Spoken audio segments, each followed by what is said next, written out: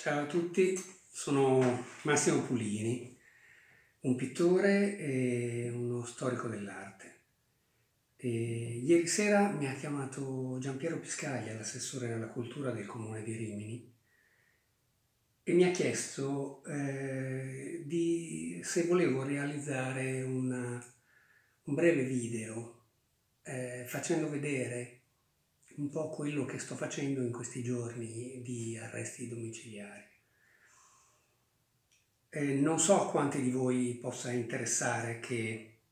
mh, mm, quel che faccio durante le mie giornate, ma eh, ho immaginato, ho mm, pensato di poter fare durante le riprese, un po' parlando e un po' dipingendo, eh, una, uno dei dipinti che eh, solitamente faccio in questo periodo. Sono dei dipinti legati ad un rapporto tra alfabeto e immagini. E mm, non so quello che mi riuscirà a venire in questo momento perché non sono tanto abituato a, a parlare dipingendo. Sono un pittore che scrive e questo eh, mi ha portato eh, talvolta a riflettere su altri pittori dei secoli passati. Anzi, per la verità ho incominciato a scrivere proprio per il bisogno di cercare di restituire e di risarcire un po' quello che il tempo ha tolto ad, ad alcune figure eh, di artisti, spesso artisti legati anche alla mia terra, anzi molti anni fa iniziai proprio studiando Cagnacci, Centino, Cristoforo Serra, Savolini e pittori del, romagnoli del XVII secolo. Alle mie spalle Vedete, tra l'altro, quello che per me è un privilegio, aver potuto acquistare anni fa un dipinto di, che io ritengo sia di Cristoforo Savolini, un pittore cesenate del Seicento di straordinaria qualità che morì molto giovane, non aveva ancora compiuto i 37 anni. E, ecco, quello che sto facendo in questo periodo è proprio aver ripreso una, eh, un, un, progetto lasciato interrotto negli anni in cui eh, al posto di Giampiero Piscaglia facevo io l'assessore alla cultura. Per sette anni e mezzo eh, mi sono occupato un po' di tutto quello che in, nel settore culturale eh, Rimini produceva, l'amministrazione di Rimini produceva. E, mm, e per cui, essendo un lavoro eh, totalizzante, che non lascia molto spazio, non invidio in questo momento Giampiero che ha a che fare anche un po' con questo disagio e questo, questi allarmi continui. Credo però che eh, gli operatori del mondo culturale possano, nonostante la battuta d'arresto,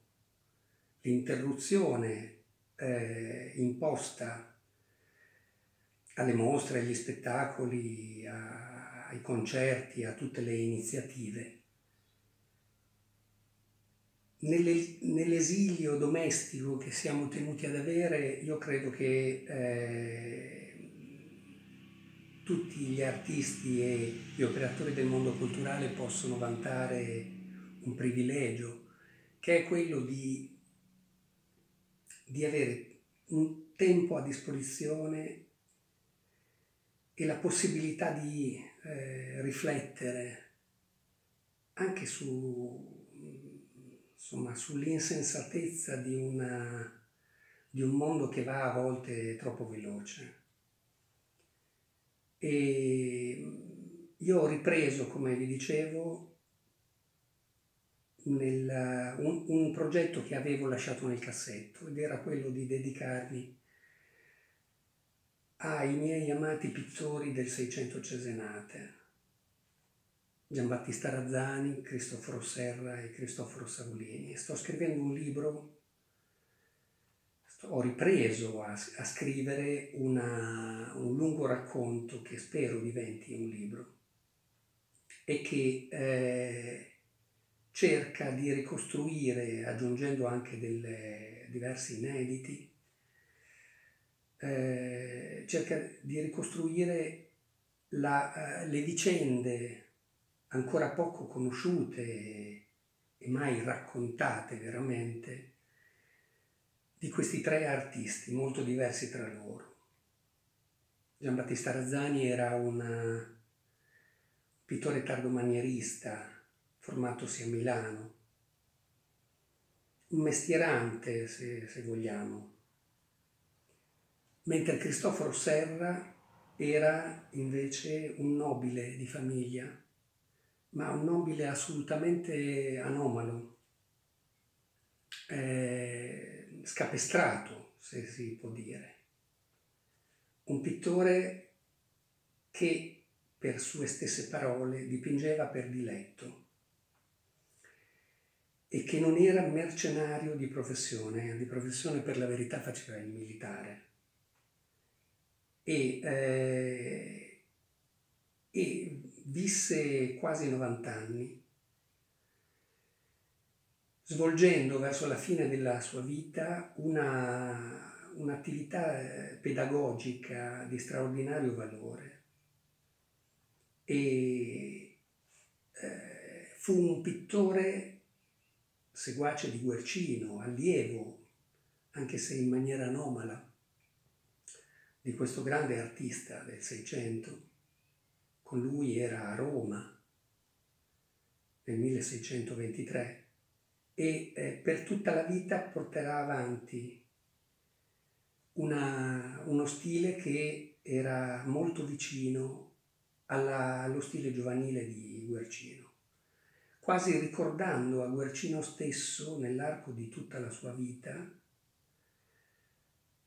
eh, quello che lo, lo stesso maestro aveva dimenticato, abbandonato ad un certo punto della, della propria esistenza, eh, assecondando una crisi che eh, mi ha incuriosito per lungo tempo, un pittore irregolare, potente, che amava la, che amava una pittura intensa, appassionata e calda che eh,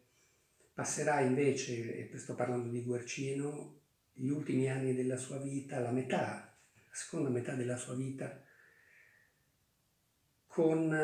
ehm, assecondando una, una, pittura invece più devota e, e regolare, eh, potata di quelle irruenze che invece Cristoforo Serra, appunto questo nobile Cesenate che si dilettava di pittura, fino ad età anche molto avanzate portò avanti. E questo artista ebbe, come dicevo, una serie di altri allievi, il più grande e il più importante dei quali è proprio Cristoforo Savolini, l'autore dell'angelo che c'è alle mie spalle. E, e Savolini, che morì invece giovanissimo, non sopravvisse al suo maestro, morì a 37 anni. Nell'anno fatidico e, e terribile dei, dei geni giovani. Una morte tragica, violenta, una morte a cavallo morì andando a completare la committenza di un dipinto che gli avevano richiesto le, le, le suore di un convento pesarese. Andando a cavallo non, ed, ed, entrando nel convento non vide il ferro che eh, teneva eh, che era all'altezza del, della, della, sua testa, eh, e, e, che era uno di quei ferri che teneva stretto l'arco della, dell'entrata del convento. Ebbene, ehm, questo pittore è stato il talento, il puro sangue, il talento eh, vero della, della pittura cesenata del Seicento, della seconda metà del Seicento. Un pittore che eh, dalle opere che ha lasciato eh, fa comprendere come avrebbe potuto diventare, lo, ne raccontano anche la fonte, i commentatori, poteva diventare la, uno dei massimi artisti della sua epoca. E la, pittori, eh, un pittore di una potenza eh, espressiva fuori dal comune, che sta quasi a metà tra la pittura di Guido Cagnacci quella di Simone Cantarini e quella anche di Guercino, che molto probabilmente, pur giovane,